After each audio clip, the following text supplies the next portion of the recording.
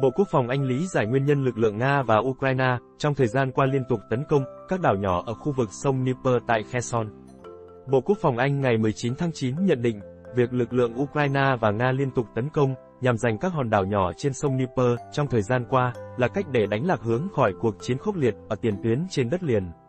Trong bản cập nhật tin tức tình báo, phía Anh nhận định rằng, giao tranh ác liệt đã tiếp tục diễn ra vào tháng 9, xung quanh các hòn đảo ở hạ lưu sông Dnieper thuộc vùng Kherson, nơi được xem là tiền tuyến của cuộc chiến. Bộ Quốc phòng Anh cho biết quân đội Ukraine và Nga đã tiến hành các cuộc tấn công bằng xuồng cỡ nhỏ nhằm vào các hòn đảo và bờ sông đối diện. Theo thông tin tình báo của Anh, Nga và Ukraine không điều quá đông lực lượng tham gia vào các cuộc tấn công trên sông nếu so với các mặt trận khác, nhưng cả hai bên đều coi khu vực này có tầm quan trọng chiến lược. Anh cho rằng, bằng cách tấn công liên tục vào khu vực này, cả Nga và Ukraine đều kỳ vọng đối phương sẽ rút bớt lực lượng mặt trận Zaporizhia và Donetsk xuống Kherson để đối phó, trong bối cảnh giao tranh đang diễn ra khốc liệt tại các khu vực nêu trên.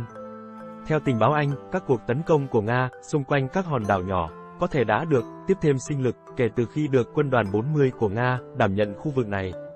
Từ tháng 6, Ukraine đã mở cuộc phản công tại nhiều khu vực trên tiền tuyến để giành lại lãnh thổ từ Nga, nhưng tiến độ tương đối chậm chạp không như kỳ vọng ban đầu. Ukraine đã tái kiểm soát được một số khu vực chiến lược, nhưng những thành tựu đạt được khá ít, và Kiev cũng chịu thiệt hại tương đối nặng nề trên tiền tuyến.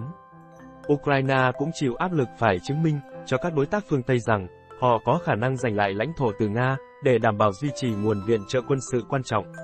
Trong thời gian qua, cả Nga và Ukraine đều thực hiện các nỗ lực nhằm khiến đối phương phải kéo căng lực lượng trên khu vực tiền tuyến trải dài hơn 1.000 km. Trong một cuộc chiến tiêu hao, việc làm sụt giảm dần dần nguồn lực của phía còn lại sẽ giúp một đội quân có ưu thế hơn trên chiến tuyến. Theo dân trí, cảm ơn các bạn đã xem bản tin.